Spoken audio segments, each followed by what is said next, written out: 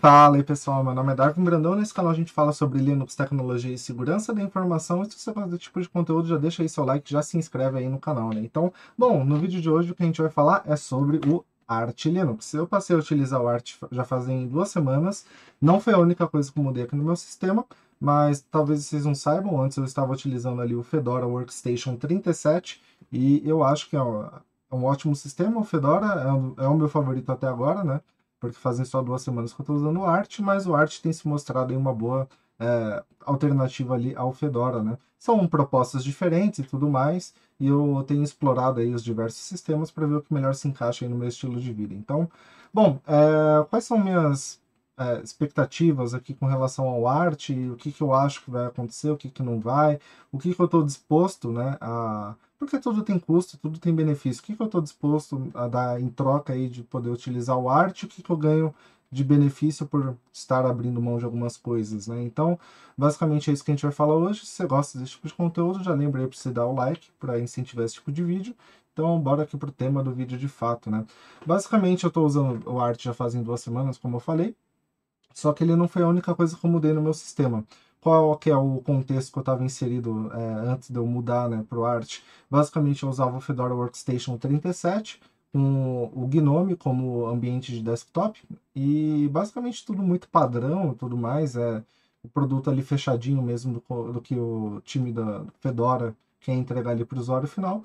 Gostei bastante, é o meu sistema favorito até o momento. Eu acho que ele é extremamente é, promissor, né? É, o Fedora tem se tornado cada vez mais maduro ali enquanto sistema, principalmente com relação ali à, à comunidade também, né? O, tem grupos muito bons, inclusive o melhor grupo de Linux que eu conheço é do pessoal do Fedora, que é o Fedora Brasil. Eu não vou lembrar exatamente o, o nome do grupo do Telegram, mas é um grupo do Fedora lá no Telegram que eu recomendo muito, pessoal extremamente prestativo e gente boa, então é, só que o Fedora não é o tema do vídeo de hoje, estou falando aqui do Arch. O que, que eu mudei principalmente, né?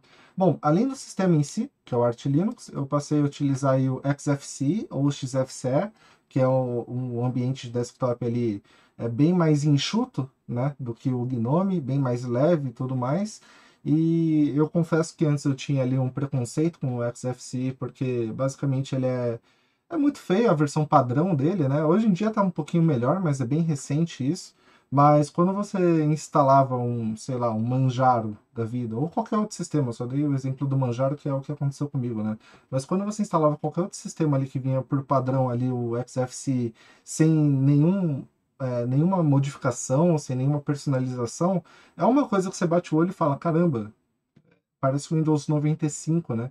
Mas eu acho que o XFCE ele é extremamente é, versátil ali para você poder customizar e fazer o que você quiser. Como vocês podem ver, eu tenho a barrinha é, aqui embaixo. Eu não uso ela praticamente nunca, só uso para deslogar e tudo mais, para suspender aqui o notebook. Mas é, todas essas paradas aqui eu não sou muito fã, não. Eu até cheguei a botar aqui o Whisker Menu, né? Mas eu não uso. Então eu estava até pensando em customizar essa barrinha para ela ficar uma coisa mais arredondada tipo, mais ou menos aqui, né? Sem estar tá no extremo aqui, na, nessa extremidade inferior aqui da tela, ela fica só uma barrinha bem pequena com as bordas arredondadas aqui no meio. Mas eu tô com preguiça de fazer isso, confesso. Mas bom, o que eu tô achando aqui do Arch Linux? Né? Basicamente, ele é um sistema extremamente rápido. Eu nunca imaginei que meu computador seria capaz de alcançar o nível de velocidade que ele está alcançando aqui com o Arch Linux. Isso antes mesmo de eu usar o XFCE, né? Porque, tipo, o que acontece é o seguinte, o ambiente desktop em si, ele é muito leve, né? O XFCE, em relação ao GNOME, ele é muito leve. Mas não é só isso, até no TTY, né? Até no... como posso dizer? Ah, não sei falar isso em português. Tipo, até o terminal, né?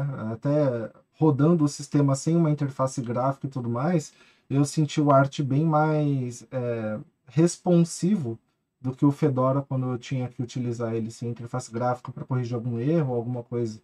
Então, é, basicamente é por isso que eu quis experimentar. Eu sou curioso, né? Afinal de contas, eu estou sempre experimentando coisas novas e com Arch Linux não podia ser diferente, né? Então, é, eu estou gostando muito, ele é extremamente rápido. Outra coisa que eu estou usando aqui, que eu também não tinha costume de usar, é o, o Z-Shell, né, o ZSH, que é esse shell que eu estou usando, que é diferente do Bash, que é o que eu usei a vida toda. Mas ambos são compatíveis, então não tem nenhum problema ali de script, nem nada do tipo, não tem nenhuma incompatibilidade ali, pelo menos não que tenha saltado aos olhos aí até então. Mas, enfim, a experiência que estou tendo é extremamente positiva, ele é extremamente responsivo, extremamente rápido. É, o, o XFC ajuda muito também nisso, porque ele é extremamente leve, né? E, mas confesso que não está tudo perfeito, né? Porque eu tive uma. Eu tenho, né? Uma dificuldade ainda, às vezes, de fazer jogos Proton rodar, né? Jogos que são de Windows, mas que rodam no Linux através de uma camada ali de compatibilidade desenvolvida ali tanto pelo time da Wine quanto pelo time da Steam, né, da Valve, é, que desenvolveu o Proton como um fork ali do projeto Wine para justamente fazer jogos de Windows rodar no Linux. Então eu tenho dificuldade às vezes, eu não sei o que, que é, não sei porquê, é, quando eu rodo a Steam via terminal, é, não me dá nenhum erro ali que seja significativo, nem nada do tipo. E às vezes quando reinicio o computador ele funciona, às vezes não. Então é uma coisa aí que ainda preciso averiguar o que está acontecendo, né? Claro, eu não vou descartar que seja uma culpa da Nvidia, né? Porque infelizmente o que eu tenho é uma. Não infelizmente, né? Porque eu poderia não ter, mas. É, assim, a Nvidia não colabora muito com a comunidade open source, né? Então acaba que os produtos dela são subutilizados, subvalorizados aí no ambiente que seja open source, justamente porque basicamente eles não liberam o código-fonte dos drivers e fica difícil ali de fazer uma integração boa. E por, pelo fato do Art ser um, uma rolling release, né, que é uma coisa que eu não estou acostumado, é, às vezes pode ser que tenha sido alguma atualização ali e tudo mais. Mas é isso. Agora eu vou falar também aqui do Pacman. O Pacman, ele é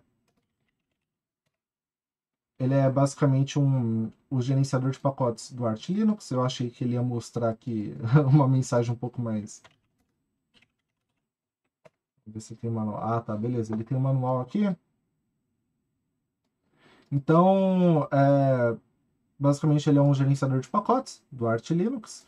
E, como eu disse, o Arch ele é um sistema rolling release, então toda vez que sai uma atualização, essa atualização já vai direto para o seu computador é, eu não sei se eles, se eles testam se eles não testam, mas eu sei que é muito rápido esse intervalo entre o desenvolvedor lançar a atualização e chegar no seu computador.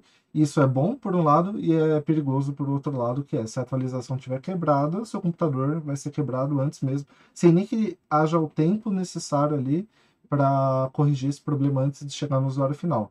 O cara mandou a atualização para o servidor, chegou na tua máquina e já era, entendeu? Então, é, eu não vejo isso muito como um problema, porque dizem que é bem raro isso acontecer. Mas eu confesso também que se tiver algum problema, eu vou achar interessante. Claro, não se o negócio acabar me atrapalhando, tanto que eu fiz um dual boot com o Fedora justamente para evitar esse tipo de situação, mas usar situações aí de sistema quebrando ou coisas dando errado para aprender um pouquinho melhor aí sobre como que funciona o computador, né? Porque afinal de contas eu sou curioso. Então, antes de querer fazer tudo sair funcionando perfeitamente, eu sou uma pessoa curiosa e para mim vale a pena o aprendizado. Então aqui vocês têm o manual do PEC, eu só abri isso aqui, não sei nem exatamente porquê.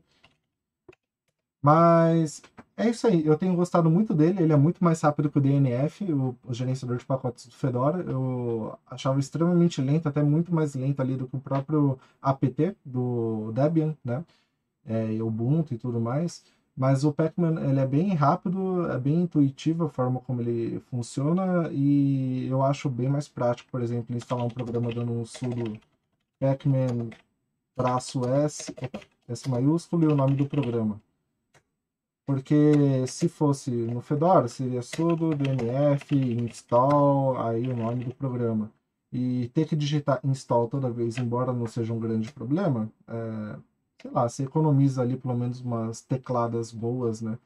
Quando você tem que é, instalar alguma coisa. Então, além disso, tem o AUR, né? O AUR, que é o, o Art User Repository, que é o repositório é, de usuários, que os usuários eles empacotam programas e botam nesse repositório sem qualquer verificação de segurança, sem qualquer verificação de qualquer coisa.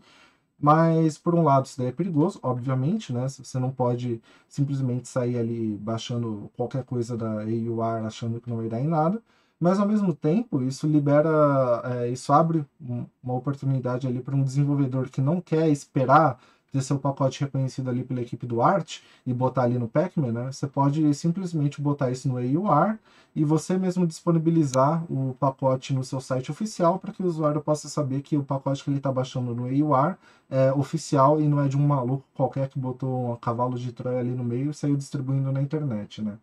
Então, é isso. Eu gosto muito dessa é, essa visão que eles têm de o usuário é responsável pela experiência que o usuário tem no computador dele. Eu acho interessante isso, porque ele não chega a ser minimalista, mas ele também não te dá uma experiência. Ele é, constrói as bases, né? o Arch Linux em si, ele não é o XFCE, ele não é o Z Shell, aí, o ZSH que eu estou usando, ele é só um sistema operacional de fato, em e basicamente ele constrói pilares sólidos para você poder botar o que você quiser em cima, de forma que você é responsável pela sua experiência, você faz aquilo que vai te agradar e vai servir a você mesmo, ao invés de ter que ficar experimentando as soluções de outras pessoas criadas para elas mesmas ou para outras pessoas que não necessariamente iam encaixar 100% ali com o que você quer. Então eu gosto dessa visão, eu gosto também da visão de que o, os usuários devem ser livre pra, livres né, para empacotar projetos e subir ali para um repositório comum de forma compartilhar de forma livre, reduzir ali as barreiras, né, para o compartilhamento de informações e pacotes, programas e tudo mais entre os próprios usuários, porque embora você tenha casos ruins, né, claramente você vai ter, é, é evidente que você vai ter alguns casos ruins aí no decorrer da história dessa parada, mas ao mesmo tempo você também tem uma coisa muito boa que é essa independência que você dá ali para os usuários é, e desenvolvedores principalmente, né, de subirem os próprios pacotes no AUR e deixar o pessoal baixar é, sem ter esse intermediário que seria a própria equipe do Art, colocando isso oficialmente nos repositórios ali do Pacman, né? Então é, basicamente é isso. Eu tive alguns problemas técnicos aí, principalmente com, no que tange aí Bluetooth. É, meu teclado, eu só consegui instalar e fazer funcionar mesmo o Bluetooth dele é, depois que eu instalei o XFCE. E não necessariamente por causa dele, mas porque tava tão difícil. É eu tenho um teclado mecânico muito ruim, né? É um da Logitech, mas é um teclado ruim, no final das contas. E quando você aperta o A, por exemplo, vai, sei lá, 5 As. Aí, tipo, tem, tem que ter uma série de configuraçõezinhas para eu conseguir digitar e sair do jeito que eu quero na tela, né? Porque senão fica essa interferência. Sei lá, não sei exatamente qual é o problema dessa parada aqui, mas eu, eu me estressava e sempre voltava pro, pro Fedora justamente porque eu não conseguia nem dar os comandos que eu precisava dar é, com o meu teclado. Então, corrigir um problema de teclado com um teclado que mal funciona não é uma coisa interessante de, de se fazer, mas enfim, instalei o XFC, ele por padrão, eu acho, né? Não sei se foi alguma coisa que eu fiz antes, que aí depois que eu instalei só combou as duas coisas, mas o que eu posso dizer com certeza é, depois que eu instalei o XFCE, é, ficou muito mais fácil, ele naturalmente já reduziu bastante o meu problema com o teclado e permitiu ali que eu conseguisse instalar o Bluetooth Manager e tudo mais, e outros programinhas aí para estar tá lidando com a parada do teclado. O som também ficou 100% resolvido aí quando eu instalei o XFCE, porque eles usam o... Qual é o nome dele? É, eu só lembro o comando que é PAVO, é Pulse Audio Volume, Volume Control, né? É o controle de volume do Pulse Audio, que é esse programa aqui. Inclusive eu estou usando aqui, ó, vocês estão vendo a minha linda voz é, fazendo a barrinha aqui mexendo. Então, é isso aí. Esses foram os problemas que eu tive, mas no geral tá muito positivo. É muito louco poder fazer isso aqui e abrir um terminal rápido. É que ele tá um pouco mais lento do que o normal por ser o ZSH, né? Ele é um pouco mais pesado ali que o Bash. Mas, por exemplo, o LibreWolf, apertar a tecla de atalho e abrir em poucos segundos assim, é uma coisa que não, não acontecia nunca no Fedora. Eu tinha que esperar pelo menos uns 10 segundos, assim. Não pelo menos, mas por volta de uns 10 segundos para abrir o LibreWolf via Flatpak, né? E lembrando que o OBS Studio, ele consome bastante é, memória RAM e tudo mais, ele é, também pega um tanto, um, uma parte considerável aqui da CPU, então as coisas sempre ficam um pouco mais lentas quando você roda é, ao mesmo tempo que o OBS Studio. Mas mesmo assim, deu para perceber um, uma grande diferença aí entre o Fedora Workstation 37, que ainda é meu sistema favorito, e o Arch Linux, principalmente porque eu já facilmente consegui deixar ele mais com a minha cara, né? Eu gosto muito dessa, temática cyberpunk e tudo mais. Botei um wallpaper legal, porque no final das contas o wallpaper é 99% da, da beleza ali do, do seu sistema, né? Todo o resto é feito em volta dos seus wallpapers. Aí eu usei o próprio é, terminal, emulador de terminal aqui do XFC, que é o XFC 4 Terminal, eu acho. Daí eu tirei as bordas aqui, botei os ES8 para começar é, por padrão, né? Mudei as cores tudo mais. E os ES8 eu usei o, o Z48, que é o Z4H, que é o ZS8 for for Humans, é, que ele já ajuda a configurar uma boa parte aí da, das paradas. Então, bom, esse daí foi um vídeo aí de retorno pro canal, né? Faz, fazia tempo aí que eu não postava nada. Então, é isso, é só um vídeo de opinião, eu falando aqui coisas, né? Que eu achei e tudo mais, sem roteiro, sem nada. Tomara que vocês tenham gostado. E por favor, deixe seu like, se inscreve aqui no canal, porque eu vejo que muita gente que vê meus vídeos não estão inscritas e também não dão like. Então é muito importante aí, porque o canal está começando, né? Ele, afinal de contas, ele ainda é muito pequeno e seria muito interessante se ajudasse no nosso crescimento. Então é isso, obrigado pela atenção e até o próximo vídeo.